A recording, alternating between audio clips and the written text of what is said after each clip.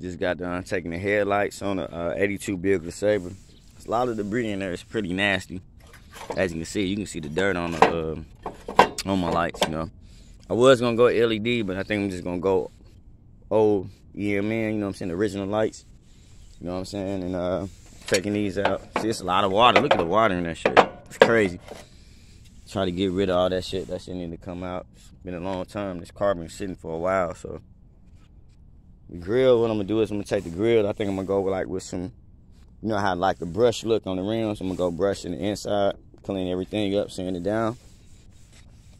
Then I think what I'm gonna do is I'm gonna wrap that in chrome. I'm gonna wrap that in chrome. You know, the grill, it's got a hole in it back in the day when I was young. Being dumb, I tried to mount a grill up in there and drill the hole in there and shit the ENG grill. So that's gonna have to get taken care of.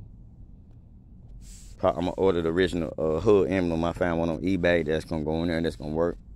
You see, I got the bezels out right here. You know what I'm saying? Working on it. Probably just take that strike. That's gonna have to come off because when I get the car painted, I want, you know what I'm saying?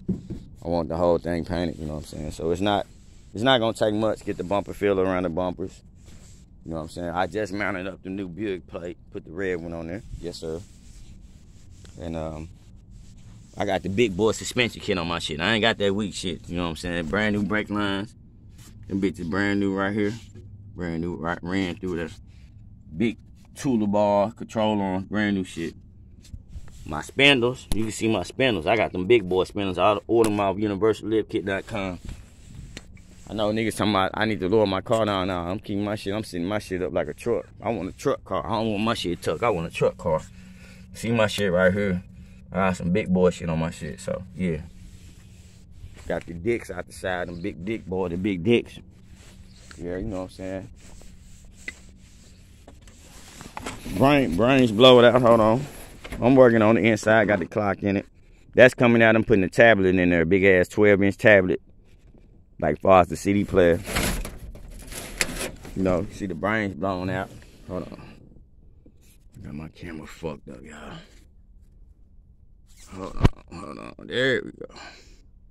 It's reflecting off everything because of that. Yeah, so you know. And then uh I know I'm fucking the camera up everywhere.